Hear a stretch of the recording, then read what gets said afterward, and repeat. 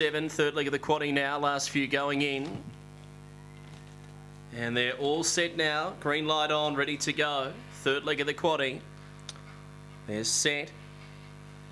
Away and racing, and Eleanor Rigby walked out from box number six. Away quickly, Gippsland Boy's going to come across and lead. Demora Cruz was away very, very nicely, and he's going to shoot through and lead and take a power beating. So Demora Cruz down the back, two lengths, Gippsland Boy. Eleanor Rigby gets up on the rail, making ground, and then Don't Ignore Me from the back. They're cleared a goodbye Bender, Keener Onyx, and well back Mr. Wallace, Supreme Sword, but Demora Cruz had gone further in front. Two, three lengths, Eleanor Rigby. Don't Ignore Me flashing at the end, but Demora Cruz all too good for them.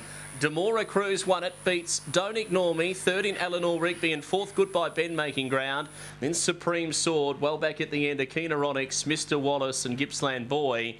The run 29 and 67. Well, once he'd stepped through to lead early, box number one, favourable for Demora Cruz there to kick out. He didn't want to use the rail that well, but what he was doing was running the rest off the rail, and he's been able to run that solo in the lead. Number one for Ray Brewer beats the four Don't Ignore Me, an eye-catching run second, was making up really good ground. Number six, Eleanor Rigby, has been good from the back, considering she missed the kick today. And the five, Goodbye Ben, likewise slow to go, but hit the line with